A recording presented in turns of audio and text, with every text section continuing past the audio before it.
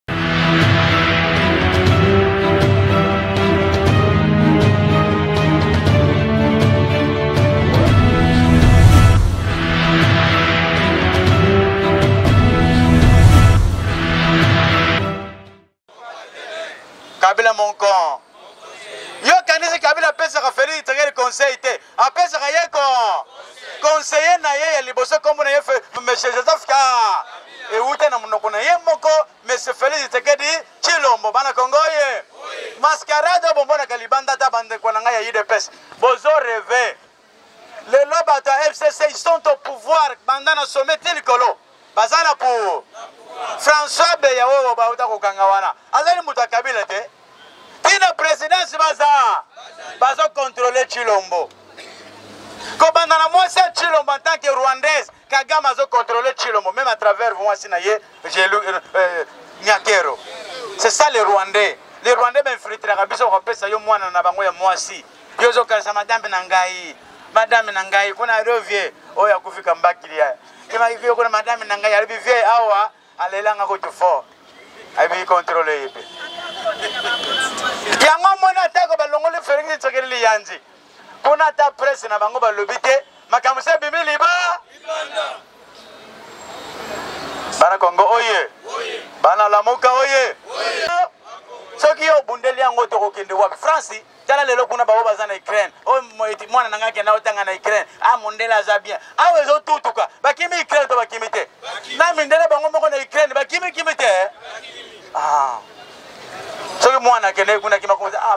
rdc mpe bien mpe naki ata na bandondo kuna nakelia mbala epa koko navandi soki kabila nani nani basilisi kuna apres na ye merci beaucoup nakoti na mateya bana kongo oye yambo nakota na koloba boye nakotuna motuna eske kobela na afrike bino awa kobela ya moto ekomi sujet ya soni eske maladi eza eloko ya soni maladi ezali kaka mala soki lelo olobeli maladi ekomi soni bataki na mpesi kuna koloba te felix tshisekedi aza kobela yaya okoloba te aza makasi na motau ye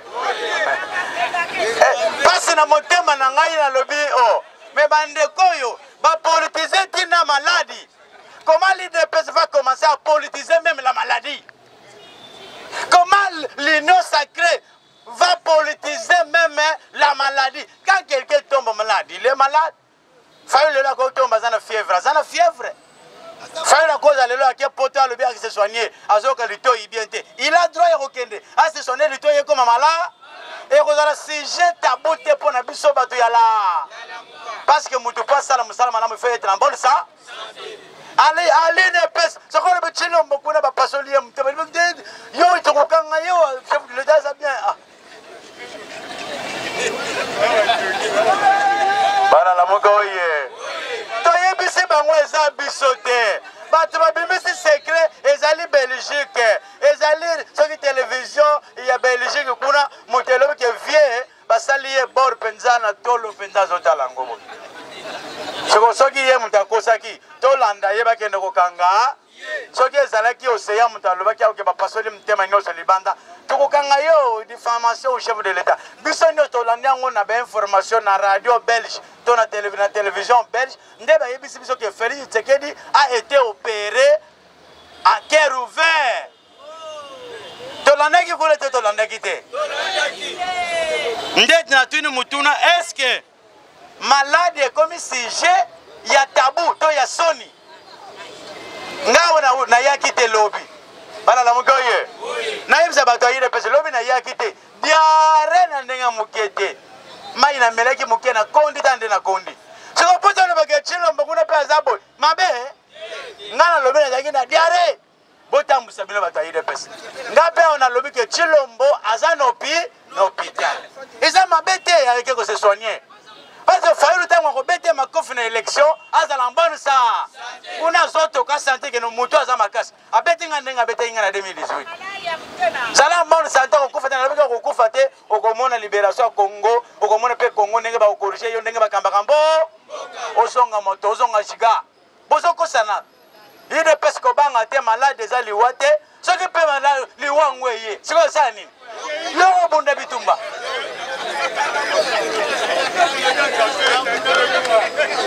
bana lamuka e bana lamuka mumalembe mumalembe tukwendila bapeple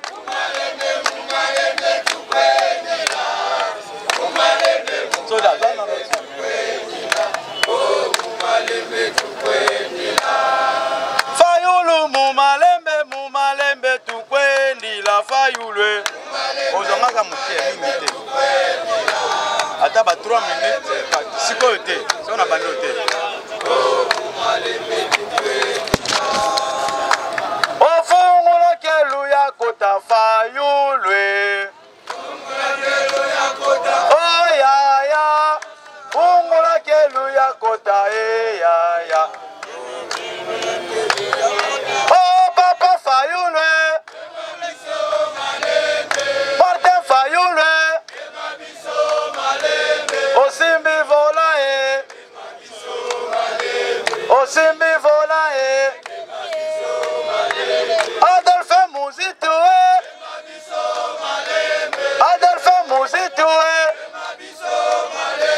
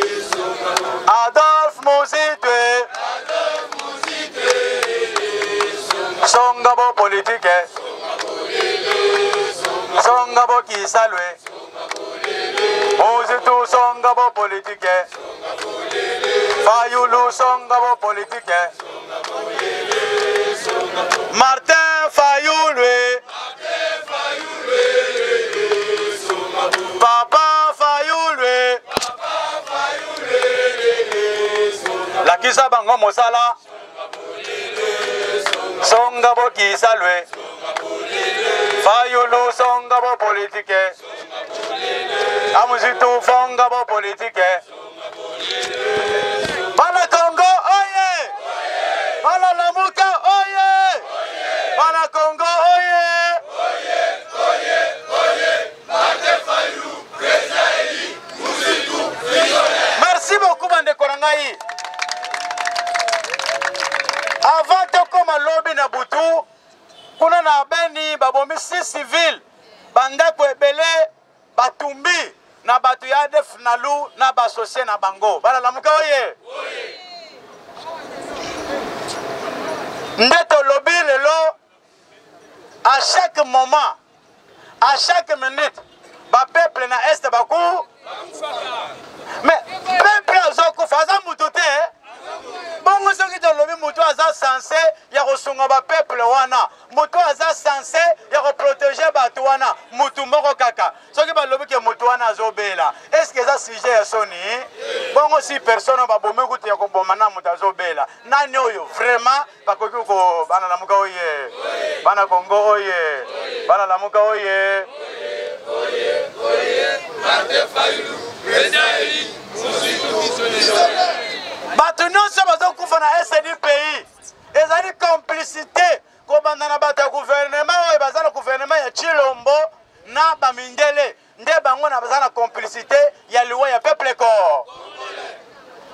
appel ya poutine Poutine atali atali alobi lokola ngai ba américain ba français bazokotisela ngai minduka na niveau ya Ukraine babeta ngai nga mpe nasengi ba volonté oyo bakoya nsima na ngai Russie comme ça tobunda bitu awa nazoloba lobi eh, Irak atindi 16 000 militaires na Russie pour renforcer Poutine. 16 000 combattants ya Russie. Bana la mugoye. Ya Irak.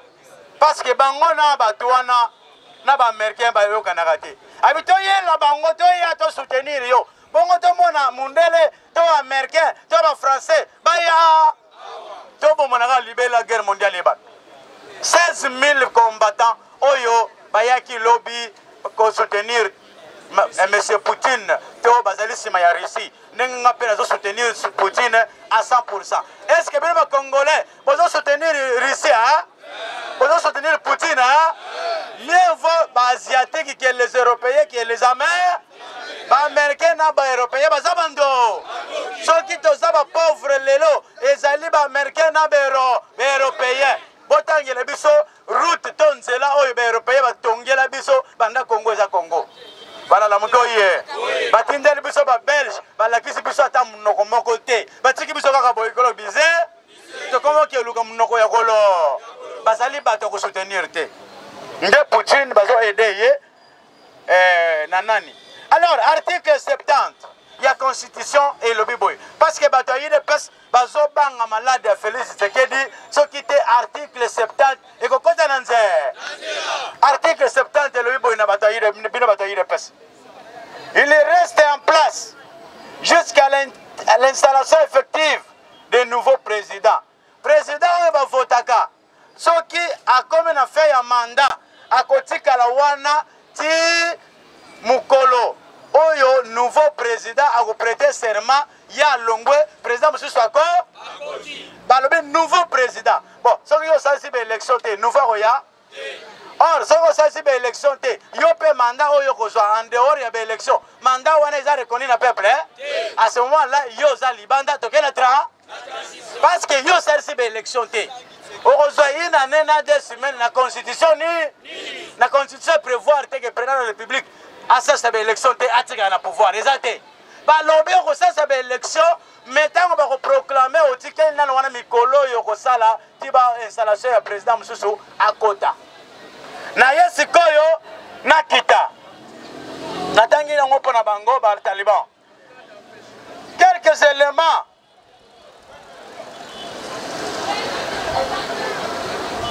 bana lamuka oye bana kongo oye Bana lamuka oye!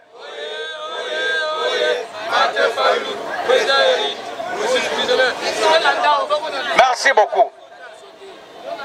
bakongole ebele baza na ukraine kuna bamosusu lobi bazoki bamasasi parceke poutine mikolo azoputuriye na ndenge ya moke te quelques étudiants oyo bazali un peu touché na makambo wana ezoleka kuna bana lamuka oye biso totala kote wana makambo na bango na bango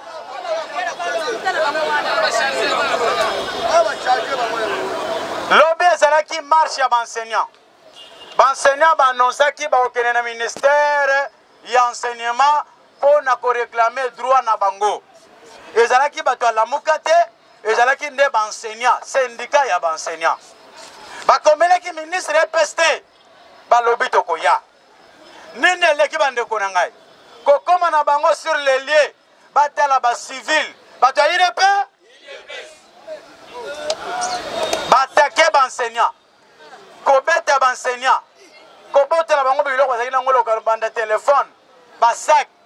kobeta bango lamuka oye bamona moto aleka na avenue wana te na bana classe kobe mwana classe alei alobi nakutani mpenza yanga moko nayebi baza bamilitaire bakombata ya udp epuis mpo nayebisa bino ke baza bakombata ya udps ministre bake kosala na, na, na ministère ni ministère yango oyo ndenge biso totelemi boye groupe oyo eza awa soki yo ministère omoni bato ya groupe boye liboso na yo okosala nini e la police oyo ya ministère ezalaki wa ezali bamilitant bamilice oyo ya ine mpe baagressaki enseignant parce que si je dénonce ça moi aussi je fais partie je suis enseignant nakolinga te enseignant bango bamana kominimize ye nakolinga te enseignant bango babanda kosakana na ye parce que enseignant aleki baye nyonso kobanda ye ministre ti bango nio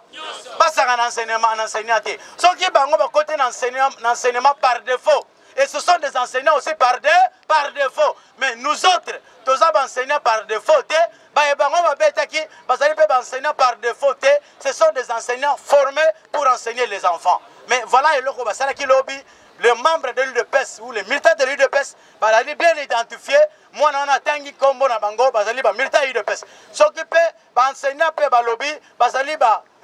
bakombata ya udps parceke ministre ayebaki ye mpe moto asali biloko wa yo ministre oza sense yokoyokoya baenseignant okotinda bamilitant na yo bakomi basoda Voilà l'état de droit ya bato ya UDP azwi ba civil bakoma ba soda ba agresser ba enseignant bomona yango wapi na mboka nini atako kabila rwandais bomona tina bato ya PPRD bakenda kobeta bato na marche hein l'état de droit le peuple d'abord contradictoire na nzela na ye bana lamuka oye bana kongo oye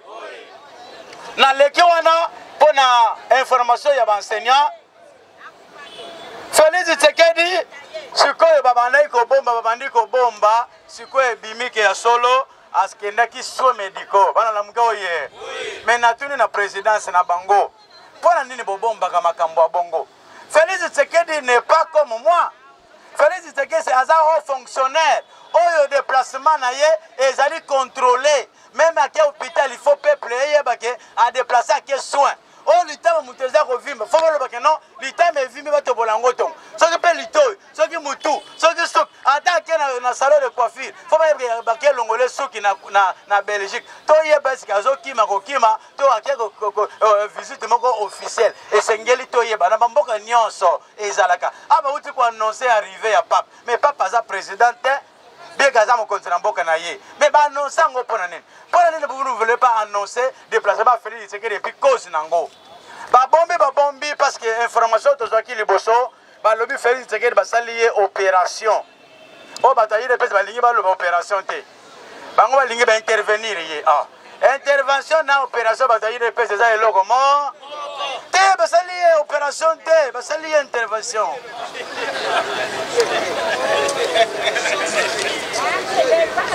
bana kongo oye officiellement baannonce na batelevizio nyonso je crois benalandi ndeko atiaki bato bazofinga cristal lusakue non alors officiellement baannonce ke azalaki akendaki soins médicaux basali ye eh, bazobenga yango hernie fiscale lamuke oye eske hernie babetaka tonga basalaka nini ah, bato ya udps baza na susi te balalamuki oye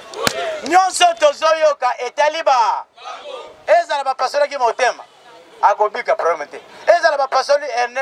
hernie fiscale soki ezalaka wapi eza kaka bango bakuti bakoye me bobombaki mpo ini bokomisa yango sujet ya pasi sujet ya, ya soni sujet soki ya nini te il est malade seke bino boyebi ke malade wana eza ya nzambe te bon soki eza ya nzambe te boyebisa biso malade wana eza ya nini bato ayina epesa eloko bazosagite eza nini soki oyebi ke felix tseke na beli Ah, wana bato ya lamuka bakoloba ke non ndenge alobaki ke oyo ako akotrahir peuple congolais liwa ekolanda ye seke oyo liwa te moyen to alobaki aza kobela eza te soki te bato alamuka bakoloba bongo mais aza moto aza na nzoto aza na makii aza immortel te aza mortel akokufa maladi mpe eza biso mpe tozolala te butumo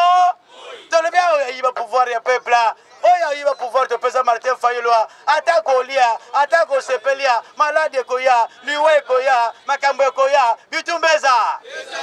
soki bayoki bongo ti bano baza kosala baza kozwa mabele na pascal baza koloba chef de leta moko abengaki redi alobi bomoni makambo eza kosala priere na bino yoka priere na bino batie priere na biso bino bobomi ye bino boza kotinda ya be akufa président akufa lamuka oye tolobi seke biso tobeti fei sekere masasi tozoloba mpasi oyo toza nango biso bapeuple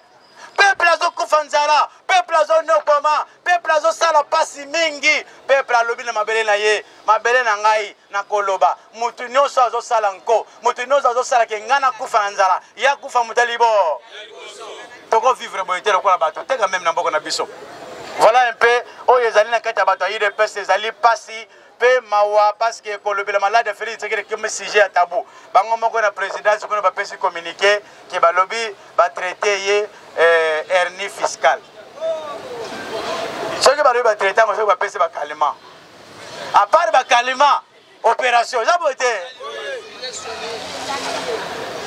centre afrique balobi baza près ya kokende kobundela mpe poutine lamuka ye na centre afrique mpe lobi babimisi minduki basali baentrainement balobi poutine tozali awa lamuka ye tozali awa tozosala nini tozoya na centre afrique balalamuka oye apart moto na bino bakosaka epai baamericain ye aza bangaka fort eh.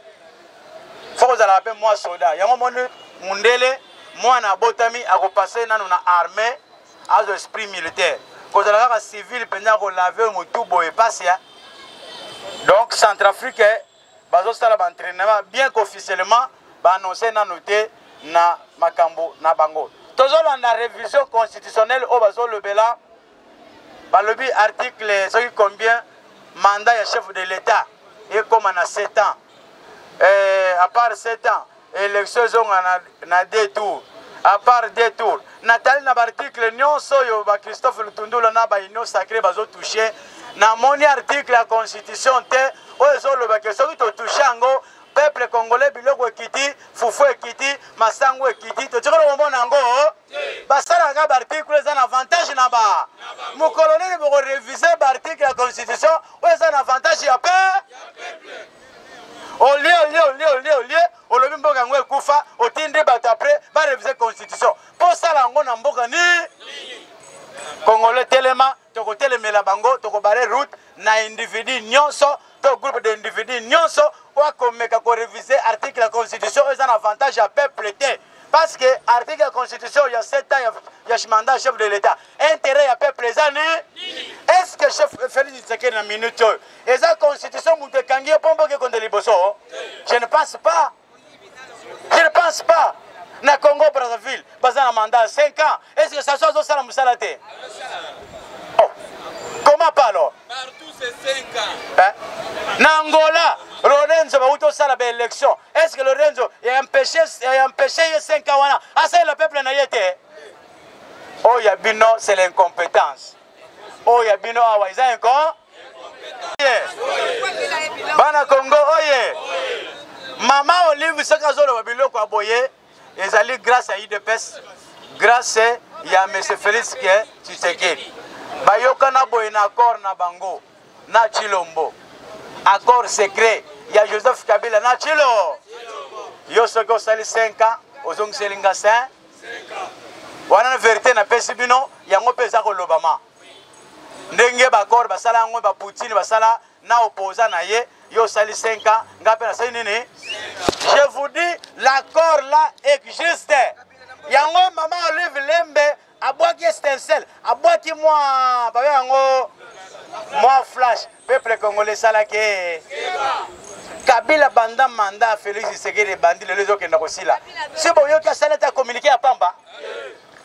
manda ya félix isekeli eke kosila tokokanga yo yo tukutuku le yo batindi bafoto tala bamonisco bazoya ye atali bo baya batindi foto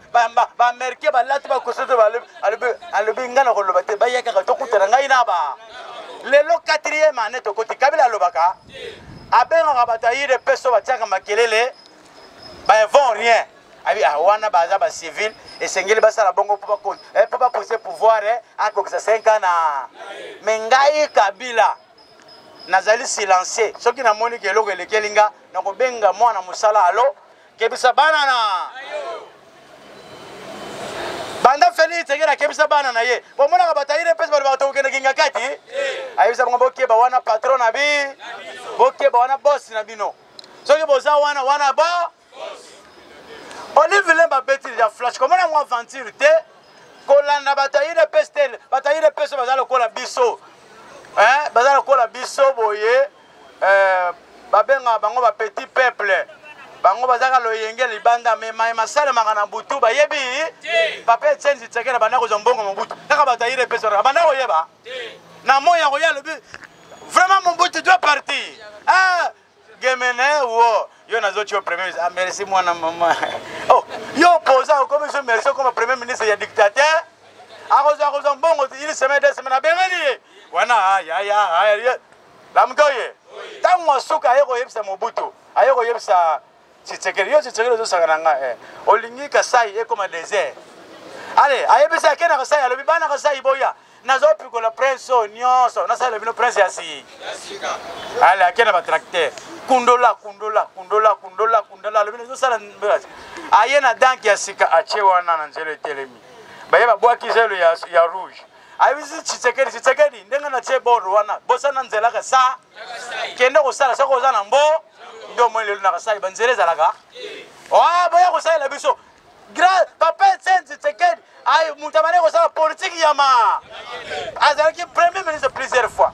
lelo mbushima ekozala bongo te ezali place oyo bato nyonso bazwi bya diamant bazwi baye ba mbongo bazwi mais lelo mbujimayi batongi te batika mpe wana soki okeye omona neti mwa ferme moko boye babelge batonga mwa bandako soki combien mais na barene ya bapapa etienne tshisekedi na bamobutu batikala kosala ata eloko moko te lelo olive lembe na kabila celo mandimi atrahir biso bapesa ye 5 ans yango moni atindi bato okende pardo babakisa nga ata 2 ans kabila 5 ans na ye ko oyo apesaki ngai babakisa ngai moto moto tya 7 ans esi osimba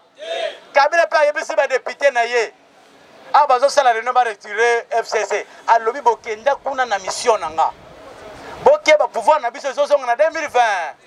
bomema ye ti na mire moto andima 7 ans soki akondima 7 ans atika ngai nazonga